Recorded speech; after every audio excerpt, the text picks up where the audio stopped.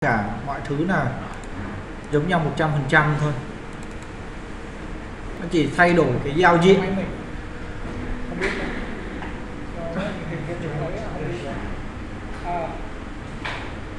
Sao cả rồi giờ mình sẽ là giao tiếp hai con S7 1500 cũng tương tự như vậy thực ra là nếu mà ở đây và nhắc lại nguyên tắc về truyền thông là không có giả lập giả lập tín hiệu. Thì được. Giả lập tín hiệu để nó thay đổi để cho chúng ta thấy được cái tín dữ liệu bên này truyền qua bên kia. Nhưng mà S7 về truyền thông thì không- không có nhiều giao thức. TCP Làm hoặc chạy thôi. Thực ra nó không khó. UDP thì mình lại không làm đây.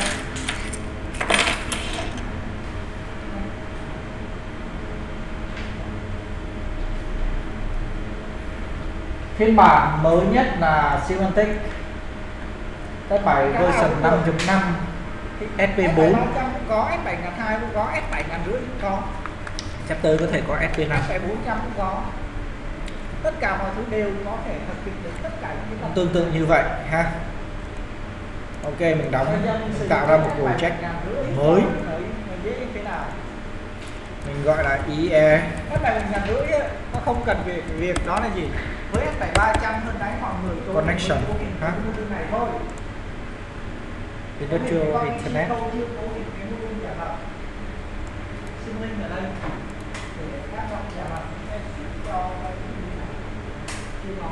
mình bỏ những con như vậy thì với S7 một ngàn rưỡi á. Trên S7 một ngàn rưỡi nó mở rộng được tối đa là 32 module S7 300 nó mở rộng được 8 module rồi tạo hai con PLC phải- dùng E ET. Hoặc EM.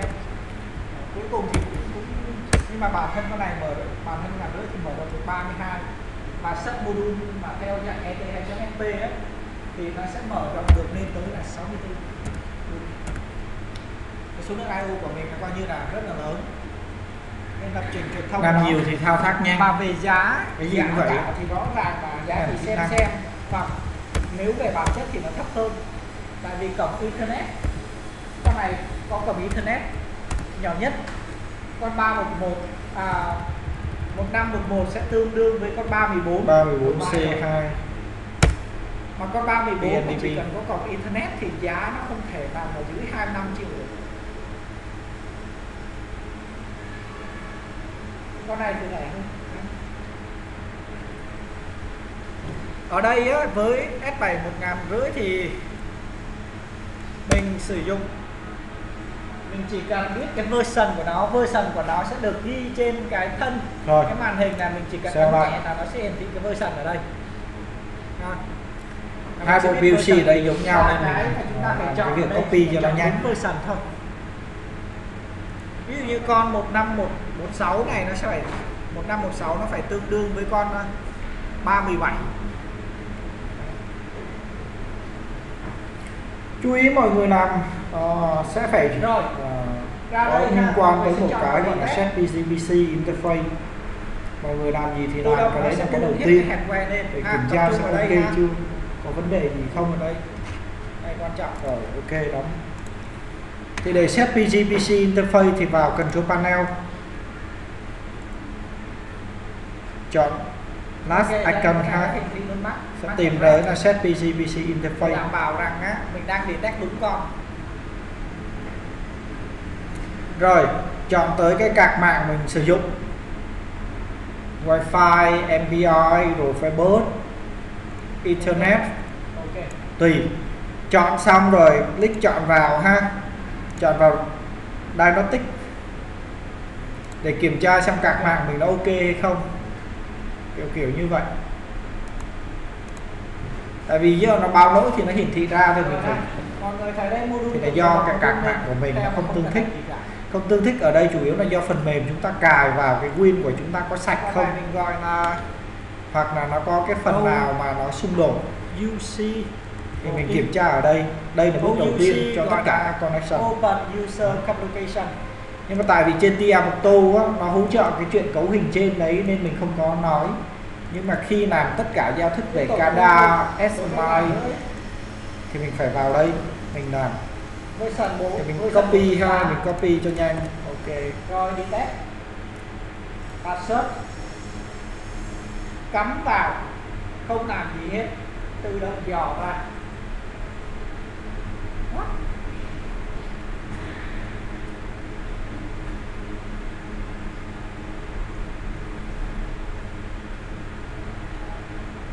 Oh my god.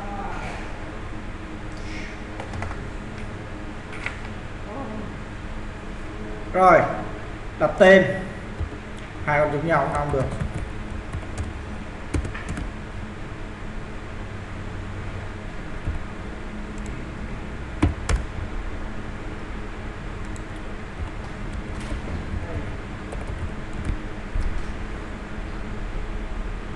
Rồi giờ mình muốn kiểm tra xem là IP của những con VPC kia thì mình hoàn toàn dùng, có thể mình kiểm tra được.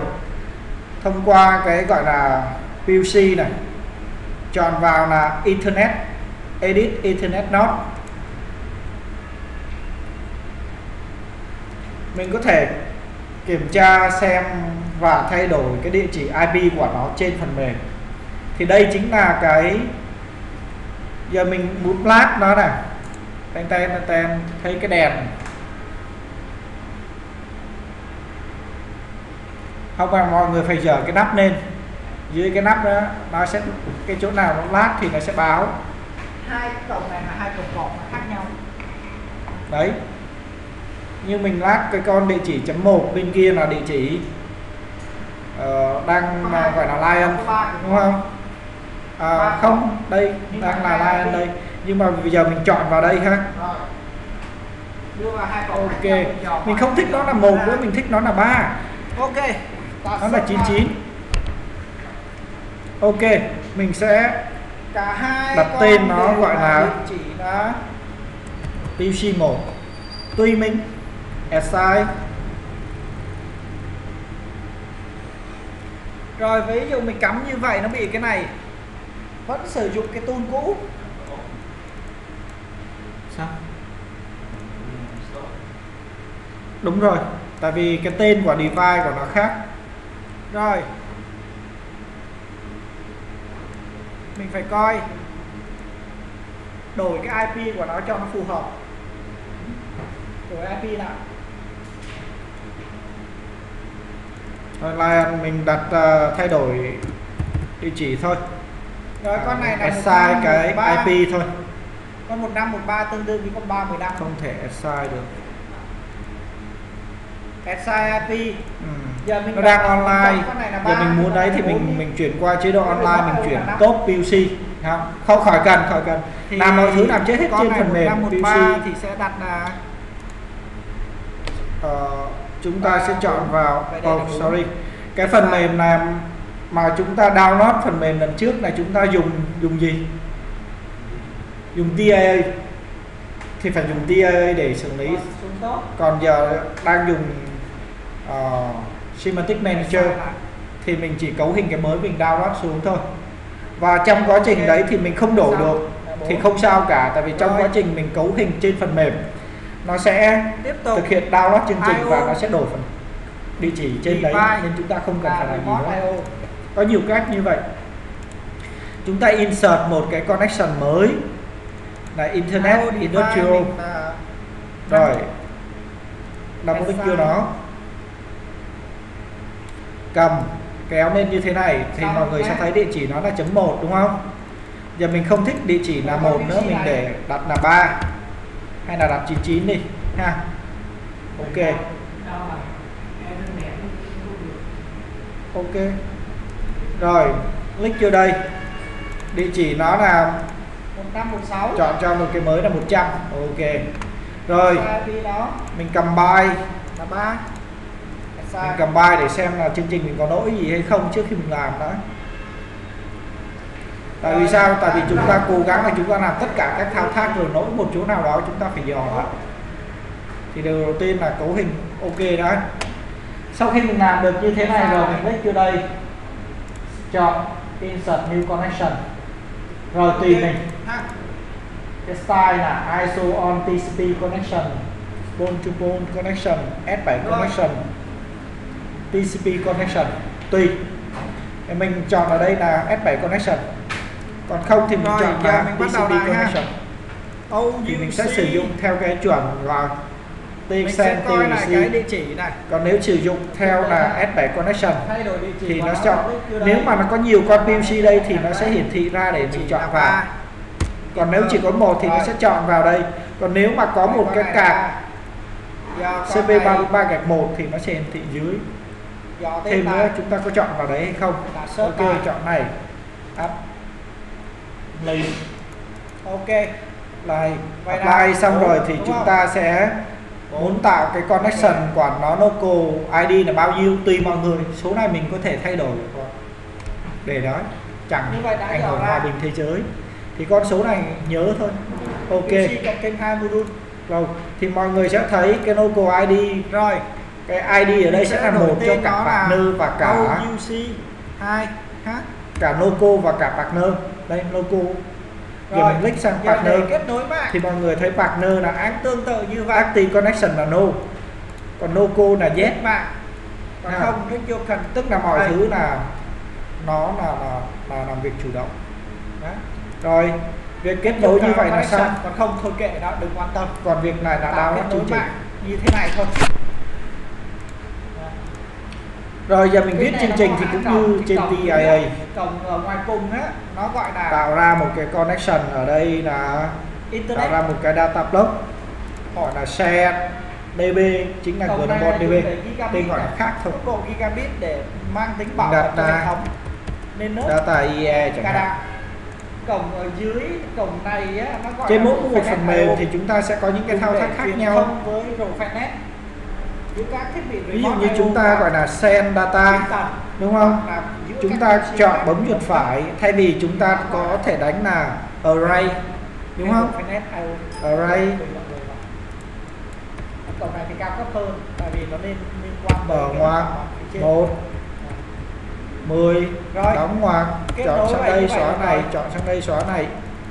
Enter. thì kiểu dữ liệu của chúng ta đặt đây là tạo ra real, cái communication thì nó đây. sẽ tạo ra một bảng là 10 communication. Thì sẽ 10 số real liên tục còn cách khác chúng ta có thể làm. Rồi.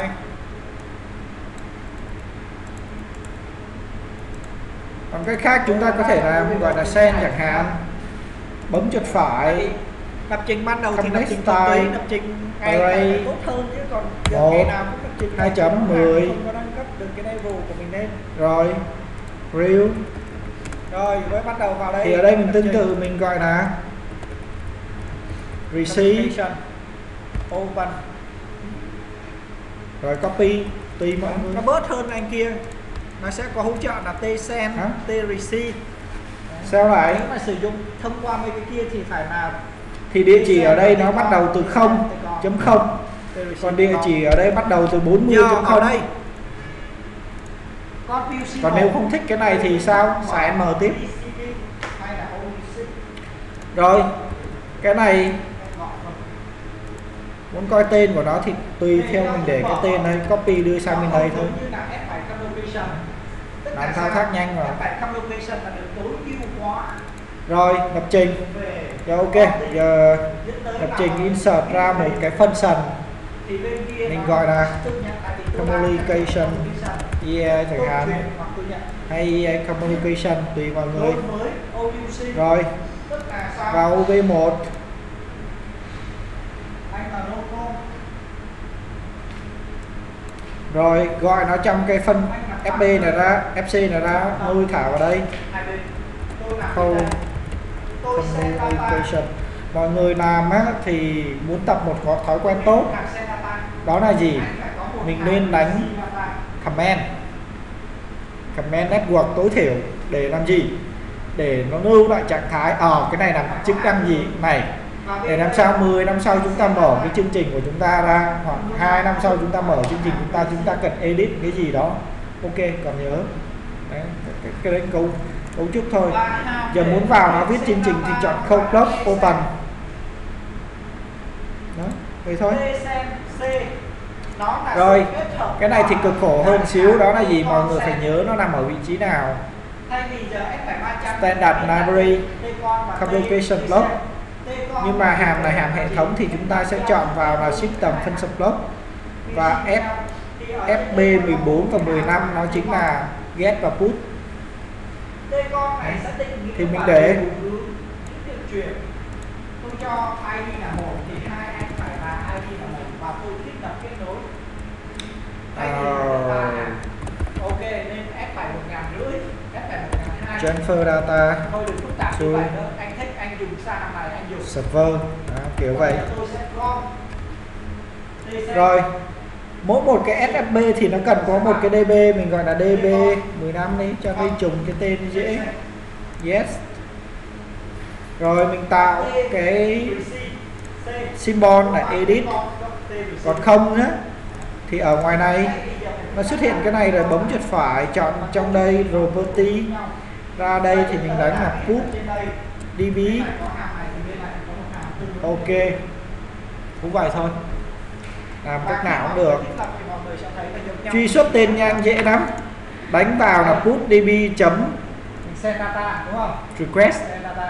Hoặc là chúng ta đánh là db15 sẽ tạo ra vẫn tương tự như vậy. đánh vào đây db15 một chấm r quick ok. Rồi cấu hình còn cái id là cái mà hơn nãy chúng ta phải nhớ nó là bao nhiêu? Là work thăng 16 thăng client server 1 ok. Đơn thì cũng tương tự như vậy db và mọi người lưu ý nhé. 15 chấm đơn db15 chấm error. á. Db15 chấm status. thì nó sẽ xảy ra chuyện gì còn tương tự thì đặt vào cái này là từ partner đúng không? thì đánh cái này nó không cho nó không hỗ trợ chọn như TIA của tôi. thì chúng ta phải tự nhập tay vào. à, P là pointer db nó có thể 1 truyền chấm sang các bạn. db x 40 chấm 0 À, tại vì nhận mà. rồi dấu cách. OUC cũng hoàn toàn như vậy. Dấu cách. Rồi enter xong một sẽ liên quan OUC 2 thế này thôi. Còn đánh sen này thì là p thăng db 1 chấm Nó sẽ db có x gọi là 0.0. connection data. Real. 10 connection data là liên quan tới cái data nào để tạo ra cái này thì nó cho mình bốn cái vùng nhớ tạo ra một cái để mình nạp dữ liệu theo cái này giống như là trên trên TIA tại vì cái khối nó thu lại thôi. còn thích thì có giống tên nó mở nó bật ra. Rồi insert new network. đó là gì DB trigger to Và nó request sẽ thiết lập tạo ra một cái DB trigger to request send data rồi F2, F3. add f9 sr cái này phím tắt thôi Đấy, F2. tự- động tạo ra một cái gọi là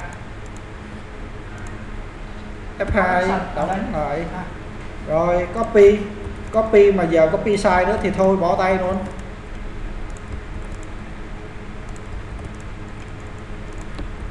Rồi. Rồi vậy là xong. Download chương trình xuống. Còn bên đây thiếu. Download như vậy á, nó sẽ không không tìm được thiết bị. Bên cái OUC tại vì nó cũng thiếu. Phải không có cái địa chỉ nào ở dưới là 99 và OUC 100 cả và download mà không đúng địa chỉ thì nó sẽ hiển thị ra cái bảng như thế này. OUC 1 thì việc của chúng ta là view để chúng ta một dò thiết bị. OUC 1 xe đúng không? Đấy rồi mình chọn hai vẫn có chọn con địa này làm địa chỉ 1 sẽ thời trở thành 99 và 2 trở thành 100 thì click vô. Đó. Ok. Click vô thôi đừng úp mà nhé Ok. Thì nó sẽ đổi cái mới này. ok. Ok. Nó cực hơn một ít nữa. Yes. Rồi Yes. tiếp tục. Yes. Yes. Như vậy cái hàm này nó tạo ra à, rồi tới con server. Tương tự như vậy. Không cần quan tâm nữa. Download xuống server. Quan tâm tới plus parameter một y chang như anh kia. Nhưng cái quan trọng là download phải để ý nó cái cái chân request. cái địa chỉ. Connection. Connection state. Thì là bằng không là tự động ngắt kết nối và bằng một là return. Ok mình cho nó kết nối không? Lúc nào cũng tạo kết nối. Có hai cách về lập view. một là khi nào tôi truyền dữ liệu thì tôi trigger và tôi đấy. giống như cái cái mà mình làm đấy. Và cái thứ Rồi. hai đó là gì? Lúc nào Server. cái lúc xuống. tôi gửi tùy thôi thì tùy mọi người lập trình cái cách nào mọi người cảm giác mà dễ nhất thì mọi người làm. Đối với mình ở đây á là mình chọn là rồi giờ Một. online hai cái db này. kết nối coi. Online. Rồi độ dài rồi để tương tự như vậy online và anh này. Độ dài để gửi đi. Online độ dài để gửi đi mình ví dụ như mình gửi là m 0.0 chẳng hạn. Cái này là quả server Mình này đúng không? còn cái này quả được không? lion này. Giờ hai đúng không? Như thế này. Thì Đấy. mình coi tới cái chỗ nào receive đâu. Receive bắt đầu từ đây. Số lượng xem. byte được gửi được yêu cầu á thì mình cho bằng hai luôn 67 cùng với cái độ len này 8 đấy, chẳng hạn. Để đảm bảo nó không có dư. 678.0 Ở đây nó phải có dấu chấm không. Data thì xong đây rồi mình download xuống. Tức là maximum mình cho hai thì nếu mình đặt đây là 10 thì nó cũng chỉ nhận hai. Mà mình đặt lên của mình là 10 á maximum lên number 3 ở dưới này là 10 á thì ở trên này mình có đặt là hai thì nó chỉ có truyền hai. Do đó tốt nhất là làm để để nó khớp với nhau và mọi thứ để tránh những cái chuyện không hay. Download xuống. Cho nó trùng hết. Trên bên này chưa thấy đúng không? Bên này chưa thấy dữ liệu nó reset, qua này. ok. Thì mình mới phải kiểm tra lại chương trình. Đó lập trình là vậy. reset rồi. Không phải lúc Chất nào nó đất. cũng rồi một phát ăn ngay. chân BG làm làm cho nó đủ màu thôi. Chứ Đó. thực ra nó không cần xài hết. Giờ mới chạy qua nè. Không cần xài hết nhá. Nhưng mà làm nhiều á cho người người ta đọc người ta thấy sợ. Download chương trình thì dữ nhớ download. Viết chương trình xong rồi. phải download nó. Chứ viết rồi không download nó nó không chạy. Chân status đây giờ ra nè. Giờ qua bên đây rồi ha. Ba bốn sáu chín Rồi. Chấm Thôi. không. Làm nhiều thì làm màu cho người khác sợ nhưng mà về bản chất thì không có gì cả. Đó. Đúng không? Rồi như vậy thì đây xong. là sen 9 thì nó sẽ đưa Bên vào receive đã- 9 đã bên này. chỉ vậy thôi và nếu mà mọi người trên nhớ trên hai cái thao tác giống nhau cái phân sần mọi người thấy đấy. Phần hết. nhớ cái phân sần nào nhớ cái cái cái cái nào đánh ra. Còn nhớ tất cả các trên đó làm gì đừng có nhớ. Có nhớ thì nhớ dịch ra là gì thôi. Nó khác nó khác nhau. Thì chịu khó Ờ, coi. nó khác nhau. đấy là nó dễ rồi đúng không? Chất này refresh start the sand job on the rising edge đây. Cái kia là tạo kết nối nhá. Trên TM Octo thì thì nó gom lại cho cho bạn. Nhưng mà trên tạo kết nối là tạo ra một Semantic Manager thì nó chia ra để cho hai bên hàm hệ thống là dùng giống dùng cho onboard tức là dùng cho con PC tích hợp cái cổng đó. Hiệp ước giữa hai nước. Còn các cái sần mà viết thuần túy như communication ở đây. Thì cái tay con nó làm công chuyện đó. Còn RiseNet là tùy theo đơn hoặc semantic đây là- semantic net ấy, là nó dành cho cả CPU 343 gạch 1, Giờ tương 343 tự, gạch mấy. Tùy theo nó là rổ phải bớt hoặc rổ phải net cái card đấy nó nó vẫn có cái tên là put get.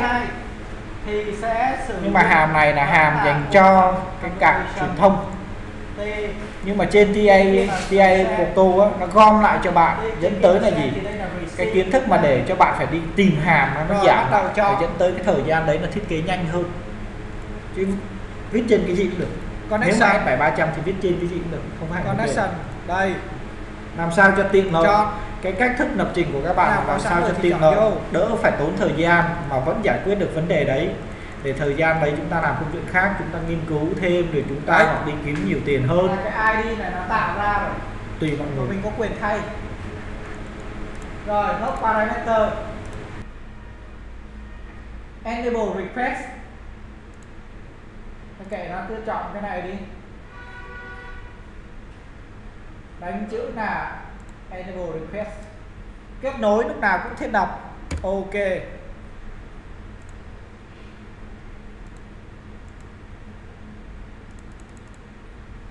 Độ dài. Độ dài byte mình nhận ha. Hôm nãy mình truyền có hai byte thì bên đây là hai byte đi cho nó nó nó, nó khớp với nhau rồi dữ liệu mình nhận về, mình nhận vào m100.0 chẳng hạn. Đơn vị là hai, dữ liệu là byte ok.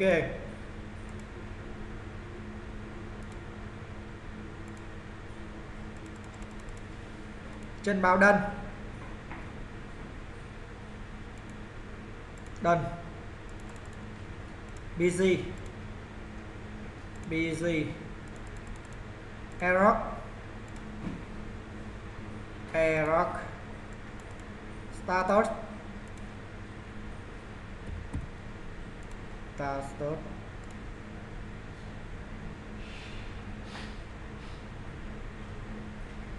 số dữ liệu nhận có hai thôi. Xong.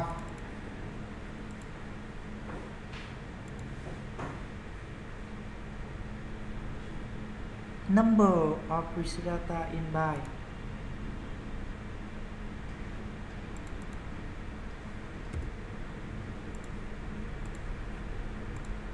rồi bỏ trống luôn, không sao cả. Dữ liệu đây để nó hiển thị ra thôi. Để nó hiển, cái số này á, cái số ở đây là số để nó hiển thị. Mình coi đây, nó nó là gì, các status của nó thì đây. Nó sẽ hiển thị cho mình cái dữ liệu của nó nhận là mấy. Còn nếu không có mình bỏ trống thì không sao cả. Tức là gì?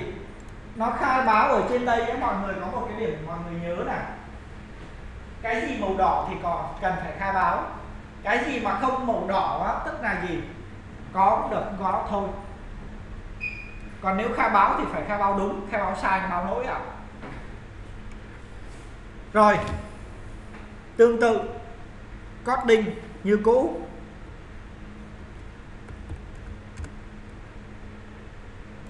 Thấy dễ không?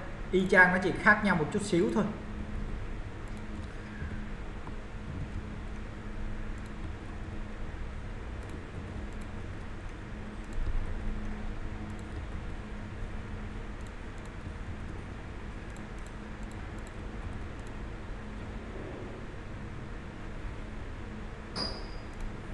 Tương tự network bên này, đi sang bên này.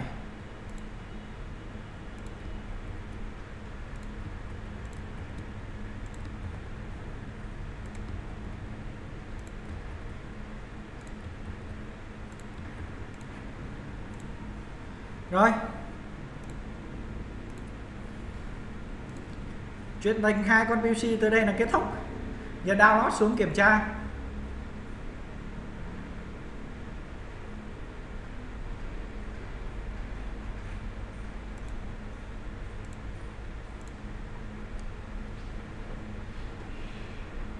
Rồi, giờ download ha. Download. Và source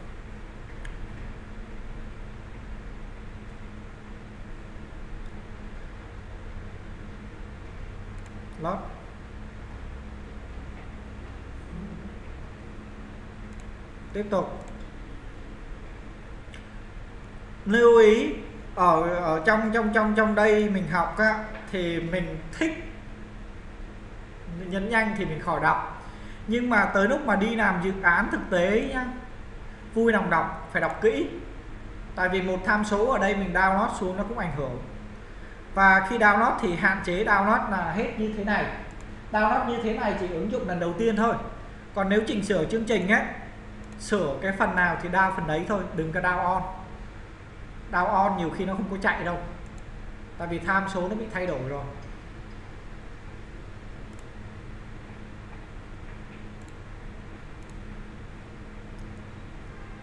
Giờ cũng tương tự như thế này.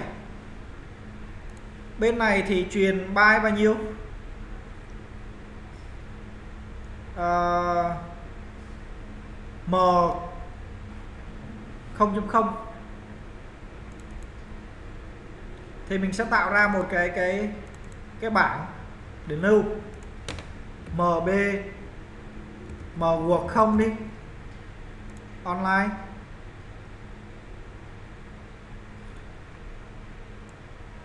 Còn bên này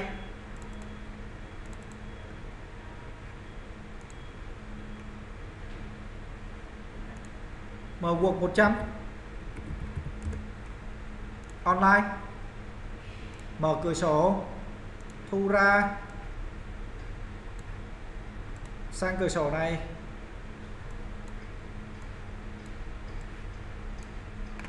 Truyền là con nào ta? Truyền là không, đúng không?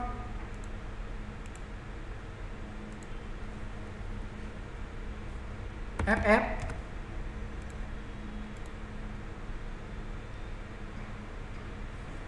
đúng không? Tương tự như vậy đối đối với TRC tại tại vì sao? Tại vì bên này xe thì bên kia receive và ngược lại, và ngược lại dần muốn truyền thì viết một cái hàm bên này tạo ra một cái connection mới để truyền ngược lại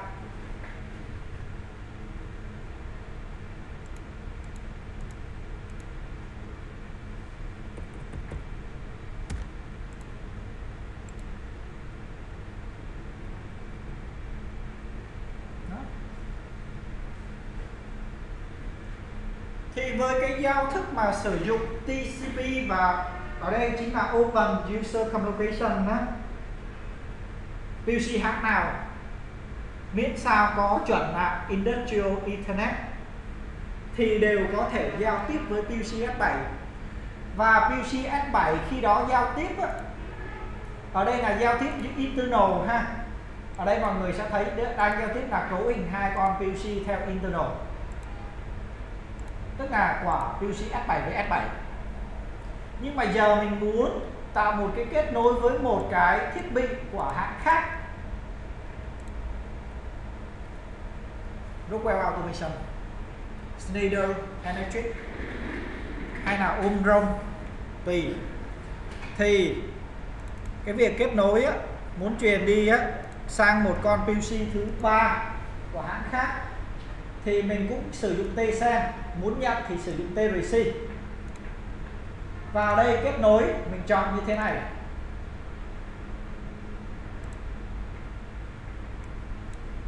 Connection. Mình sẽ để gọi là unpacked tại vì mình không biết con PLC nào. Và cái này cũng là chính là phương thức để mình giao tiếp giữa PLC S7 trên TIA Auto với PLC S7 trên Semantic Manager. Tại vì bản thân mình đâu biết nó là con nào, cấu hình như thế nào, mình không quan tâm. Mình chỉ còn cái mặc định ở đây đó là giao thức vỏ.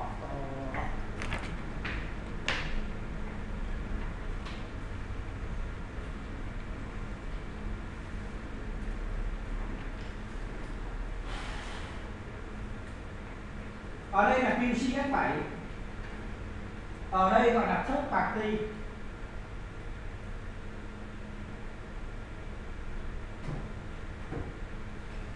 QC hạng thứ ba là gì không quan tâm. Thì chỉ cần đó là T sen C. T receive. C. Thì anh này sẽ sen qua bên này. Và bên này làm cách nào mà kết nối được? Đây là do anh PLC này biết. Đây là do này biết. Và khi đó cái cổng mà để connection ấy, cổng để communication cái cổng này phải gọi là open port. Tại vì port mà nó được được mã hóa nó không thực hiện đó thì anh truyền tới đây cái chỗ này nó đâu có nhận đâu. Anh nhận tới đây nhưng mà bên này đâu có truyền đâu, thì đâu có thể gọi là truyền thông. Thì tương tự như vậy, bên này phải bỏ bỏ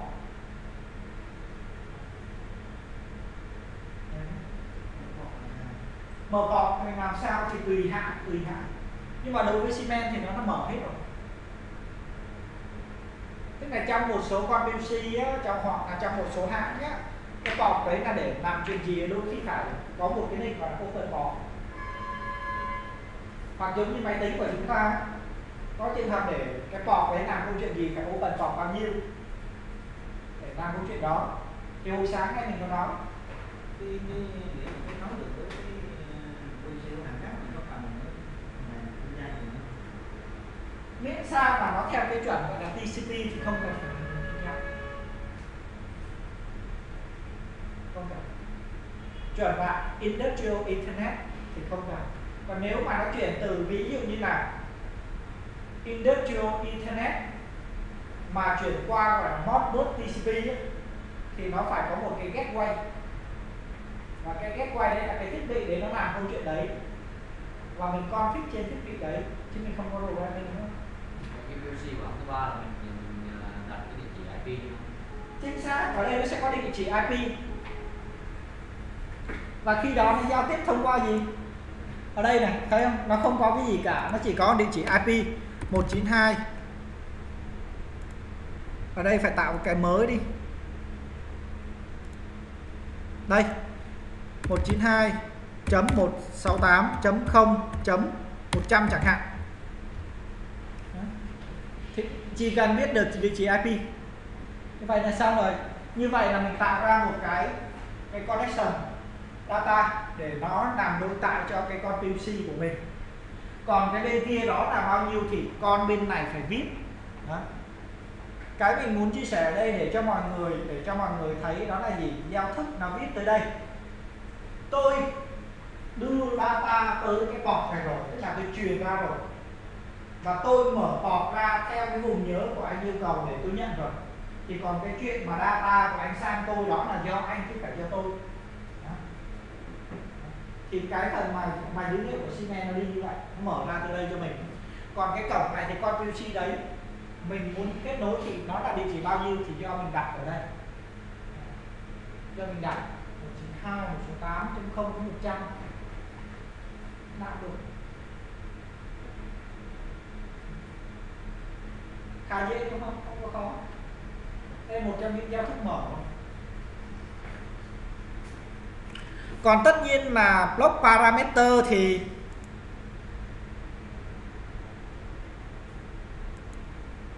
mình vẫn phải điền input đầy đủ. Tạo kết nối, độ dài, db 100.dbx0.0 thì mình phải tạo ra cái cái db đấy. Độ dài là 100 chẳng hạn, đơn vị là guộc chẳng hạn 100 guộc. Độ dài đây là 100 nếu lỗi xảy ra thì reset lỗi, báo đơn, báo busy báo error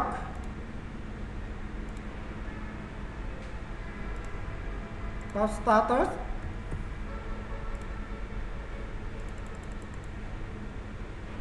Đó. và việc còn lại ở đây là mình tạo ra một cái db là 100 trăm.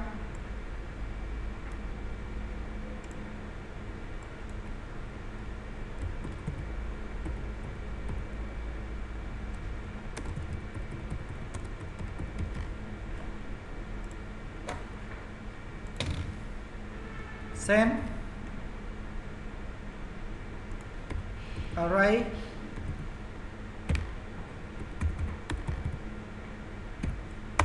of work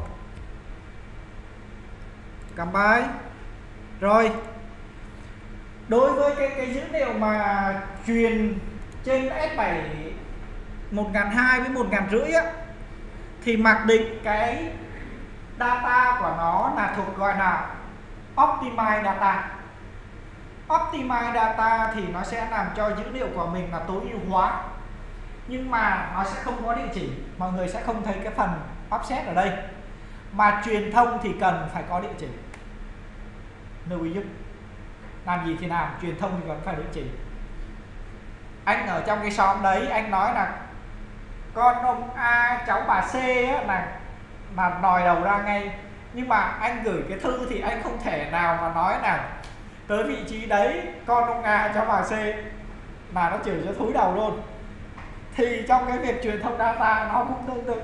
Thì ở đây mình phải chuyển về property, chọn attribute. Thì mình bỏ đi optimize plus thì nó sẽ có một offset nữa, combine đây, ra offset ha. Đấy. Vậy là xong. Còn mình viết bên này là viết. Tất nhiên cái hàm này của mình vẫn còn thiếu một cái hàm tương tự như hàm trên, như cái lệnh này. Để truyền rồi thì xong rồi thì đẩy, truyền rồi thì đẩy, truyền rồi thì đẩy, kiểu như vậy. Thì bên kia mình phải viết một cái hàm tương tự. Bên con third party này. Vậy thôi. Hôm sau hôm sau câu chuyện mình làm gì? Thử sử dụng. Tại vì sao? Mình coi cái con PC S7 1500